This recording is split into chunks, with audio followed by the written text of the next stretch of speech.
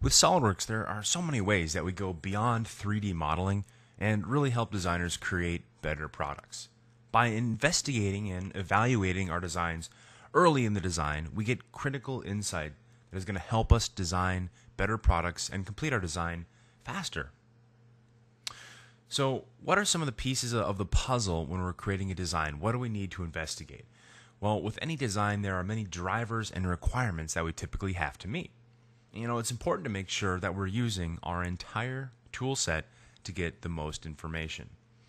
Pieces of this information are going to influence my decision making process along the way. And it's easy to argue that more information is always better than less information. The faster we have all the information, the faster we can connect all the dots, get our products released, and get them to be higher quality. So, what does a typical process look like today? Well, you know, over the last 10 years or so, we've seen a lot of companies adopt technologies such as FEA and simulation along with 3D CAD to be able to reduce overdesign, save cost, and really just allow for greater design insight. The problem is that we have a lot of downstreamers. Things like marketability and creating technical publications usually come later after the, the design is, is pretty much underway. Redesigning for cost is typical when we're at the point where it's going to cost a lot to do that redesign. And then finally, we have tertiary people that are doing things like the maintenance documents and even evaluating ec- uh, ecological impact. So these downstreamers on revision C, how much flexibility they, do they really have to change the design? And how much time is left? So we can work smarter. We can leverage all the tools inside of SOLIDWORKS to accomplish more. Then, all of a sudden, there's not so many downstreamers. And this is simply working smarter. Let's make the initial revision tighter by getting as much information upfront as possible. So a revision A is the best it can be. We're going to use tools to look at safety. We're going to look at tools to see how much this is going to cost, and we're going to use tools to see what the environmental impact of my design is going to be up front. You know, as I mentioned, we can evaluate safety using tools like simulation that companies have really jumped on board with over the last 10 years. But today, we see companies that want to adopt sustainable design practices and create greener products. However, sustainable design presents a big challenge. How can they design greener products? How can they do it in an authentic, credible, and reproducible way? Well, let's see how SOLIDWORKS lets us design better and connect all these dots together in the design of this control panel. Inside of SOLIDWORKS, we're looking at the cost of each component. So when I want to task my designers with working on where they can have the most impact, well, we can see that this sheet metal enclosure is actually driving a lot of cost to this assembly. Now, if we take a look at this sheet metal piece, remember there's four drivers I have to meet. It's got to be safe, has to not weigh too much, it's got to be cost effective, and I want to consider the environmental impact. We can see this component is made out of sheet metal. In fact, it's just a plain carbon steel, such as a, a 1023 steel. And the first thing we want to do is make sure that the design that we have is going to be safe. And perhaps on the floor, we actually do a crush test on all our components to make sure they're not going to collapse under normal use. So, of course, we all know that simulation is what allows us to digitally test for things such as safety right inside the box. So I know right now, based on the thickness and the material I've chosen, you know, is this component going to survive? And we get a lot of instant design feedback with simulation. For example, I'm, I'm looking at stress right here, but I might want to look at displacement. You know, how much does this thing deflect when I put on the crushing force? And you know, it sure looks like a lot, but this is magnified a couple hundred times. Now, for safety, we typically look at factor of safety. And what this does is compares the material's stress to the yield strength. So what you see here is everything's blue. And if you look on the legend over here, you'll see that blue is 10 or higher. And really, a factor of safety of 10 or higher is just high. It's, in fact, over designed. What we want to do is use enough material to be safe, but not over designed, so that's going to drive the cost up. So, what we can do is set up a design study inside of SolidWorks. And what this is going to do is allow me to automate parameters. And in this case, the major parameter that I have is the thickness, right? I can use 8 gauge, I can use 20 gauge, and then, you know, pretty much anything in between. So I can set up my design study to automatically evaluate every one of these different thicknesses. What that allows me to do is get a lot of information up front. So when I have to decide which material I'm going to use, well, I can set up the design study to go through materials, go through thicknesses, and ultimately, the net net is I have a lot of information to help guide my design decision. So, for example, what you're seeing here is basically what passes and, well, what fails. And you can see that the green here represents my criteria of a factor of safety of three. So basically, I want it to be three times stronger than it really has to be to withstand that crushing force. So we can see for all my steel materials, I'm going to need a 14 gauge material. If I want to use my 6061 aluminum, I need to use a 9 gauge. Now, everything above that passes, but if I start using 12 gauge, 10 gauge, you know, that's where we get into the over design and really the too high of a cost option. So the optimum solution is right around here. But that's only one piece of the puzzle, right? We also want to look at the cost. So, how much does it really cost, and how do I figure that out inside SolidWorks? Well, new in SolidWorks 2012 is a tool called sheet metal costing. And what this allows me to do is figure out, based on the material, based on my manufacturing costs or my vendor's costs, what this sheet metal component is going to cost. So out of the box, there's some templates.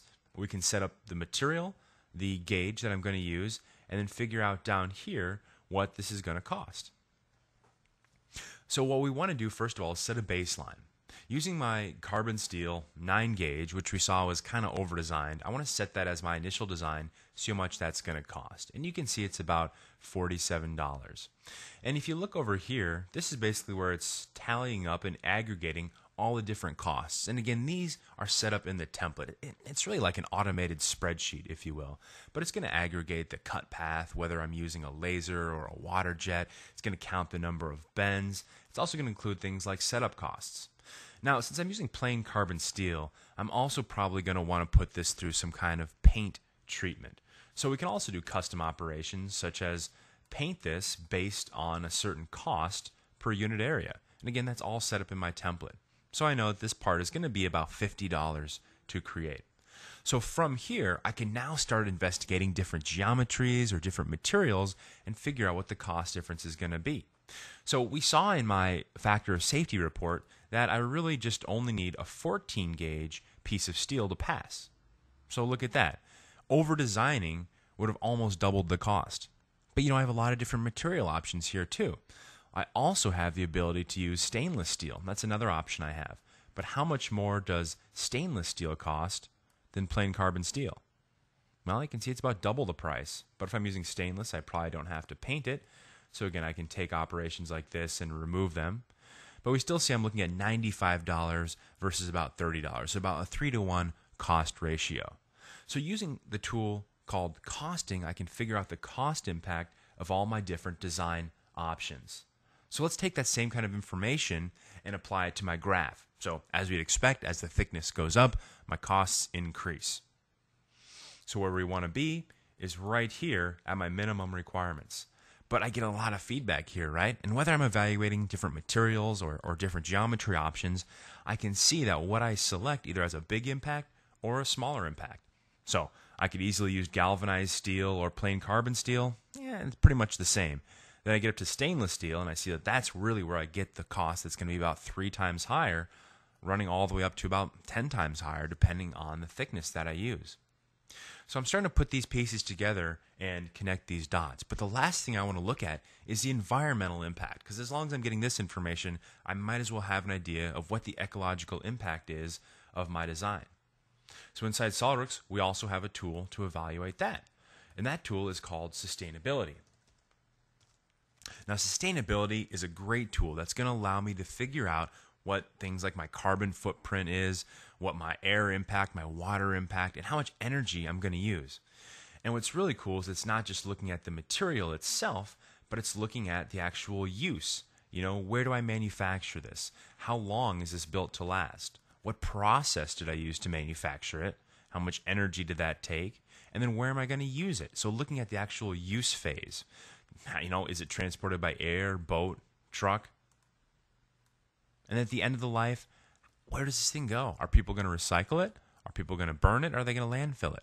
So, you know, for example, if I assume that 50% of people are going to recycle it, you know, fewer people are going to compost, I can see what the impact of that's going to be. So I know if I need to put across a recyclability initiative or something like that. So let's look at some of the outputs of these tools.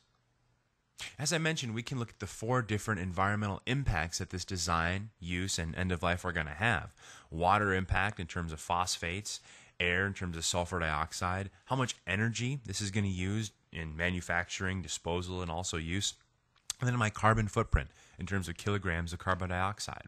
As I mentioned, these four different impacts come from various places, including the material, processing, and extraction, the manufacturing, the use, and then the end of life and transportation. So it's a very granular analysis of what's going on with this material choice or this geometry choice and how it's going to impact the environment. Just looking at making one part in these four different materials, you can see there's a whole range of energy usage differences based on the material I select. So, for example, using 1023 versus 304, that's like watching TV for a whole extra day. You know, my father always said, turn the TV off when you leave the room. And looking at this, every part we create using stainless instead of carbon steel, it's like leaving the TV on for an extra day.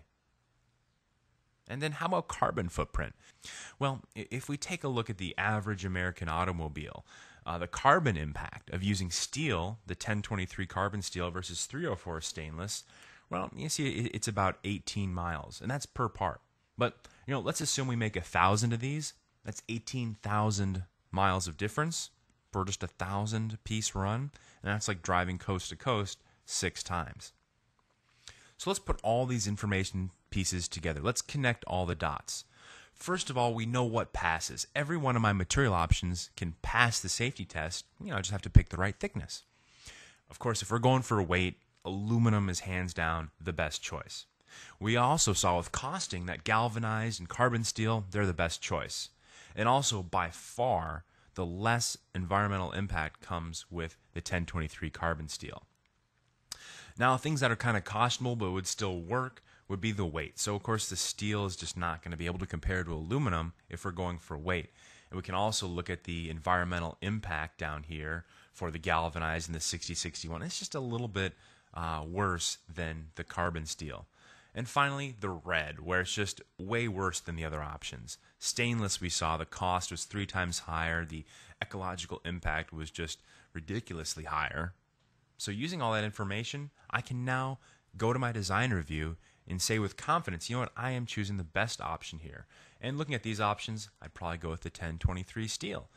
So after picking that material, we can go with confidence into our design review and say why we chose a material or a geometry or this or that and have that information up front very quickly inside SolidWorks. Now, sustainability is kind of a new idea. Like I mentioned, you know, simulation over the last 10 years has taken off, and everyone knows the benefits of using simulation with your digital model up front to avoid all the costs. But, like I mentioned, sustainability is the next big step for a lot of companies. How do we make our design practices sustainable and how can we quantify our environmental impact and use that to make better products? So we see a lot of companies doing this and it's actually improving the bottom line, right? If I'm using less energy, if I'm putting less carbon into the environment, I'm going to be able to save money simply because I'm not using those raw resources. My products are going to be better and I think most importantly, they're going to appeal to a brand new audience. Think of all the products we see in the marketplace that have green logos or are marketed towards a green consumer. So, check out this Harvard Business Review article that goes over some of the new ways that uh, companies are innovating and using sustainability as the cornerstone of that innovation. So we saw how we could use SOLIDWORKS to look at factor of safety with simulation. We could estimate the cost of my sheet metal component using costing. I looked at my environmental impact with sustainability. And of course, weight is just a property we get because we're using 3D CAD tool such as SOLIDWORKS. And there's a lot of business benefits to having these tools. One of the things we see over and over again is as you get further in the design cycle, changes become more time consuming, they become more costly, right? You have tooling set up, you have vendors set up, you have materials ordered. So the more information we get up front always makes our design better. So, some of the best tools that we have up front are the things we have right inside SOLIDWORKS that allow us to evaluate these models. To me, the bottom line is this more data is always better than less data and is going to guide our decision making process the entire way.